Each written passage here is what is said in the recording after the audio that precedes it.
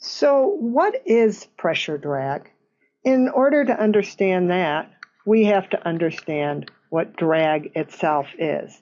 And this occurs when a body is moving through a fluid. And when we have drag, we assume that there is not only pressure forces, but there are viscous forces as well.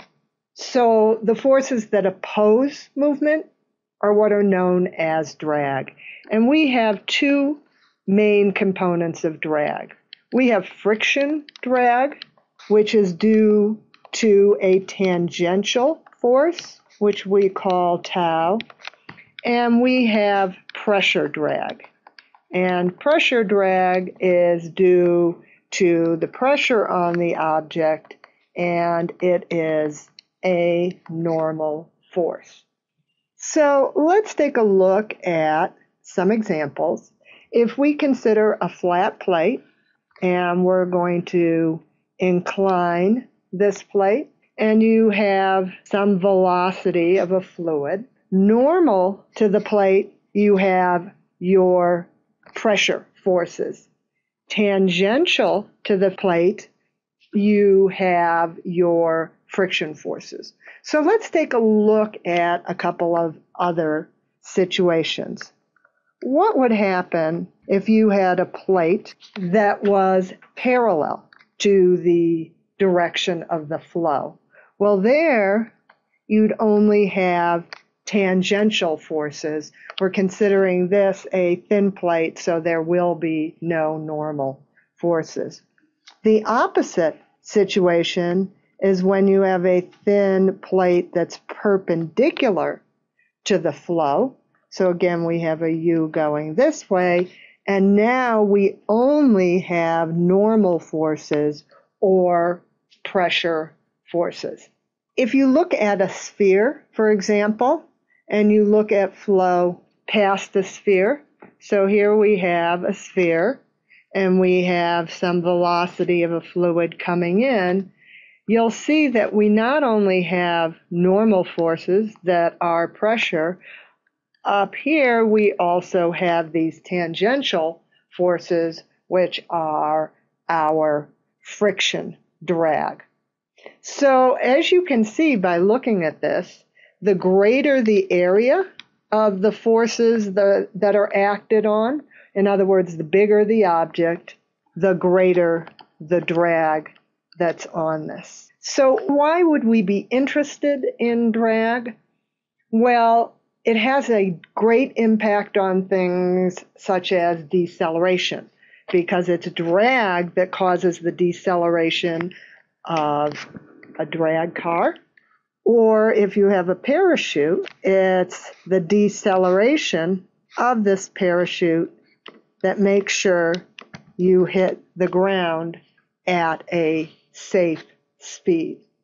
So let's take a look at the pressure drag. So when we're looking at the pressure drag, what we're really looking at are these forces that are normal. So this drag is the integral of the pressure times its position, in other words, the angle that it hits at, so its orientation, times our differential area.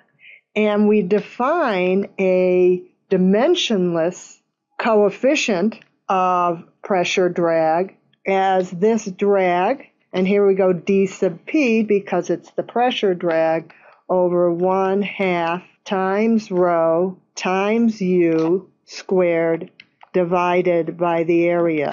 And again, you can see that this coefficient of drag depends on area and velocity. So if we rewrite this, it's this integral of this pressure times the cosine of theta dA divided by our 1 half rho u squared a, and we let this equal our c sub p, which is our coefficient of pressure, times the cosine of theta dA, which is in the integral divided by area, where our C sub P equals P minus some reference pressure divided by rho u squared divided by 2. This pressure coefficient is actually a dimensionless form of the pressure. So you might want to know what about this reference pressure? Well, the level doesn't influence the drag directly because what you're really looking for is the net pressure force on the body. And that's zero if the pressure is constant on the entire surface. So what happens if the inertial forces are large? What that means is that we have a large Reynolds number. If that's the case, our pressure coefficient is independent of the Reynolds number. However, if we have viscous forces that are large, now our Reynolds number cannot be neglected and the drag coefficient is proportional to 1 over the Reynolds number. What if the viscosity were zero?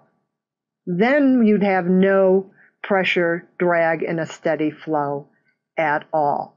There'd be large pressure forces on the front portion, but you'd have the opposite and equally large pressure forces on the rear.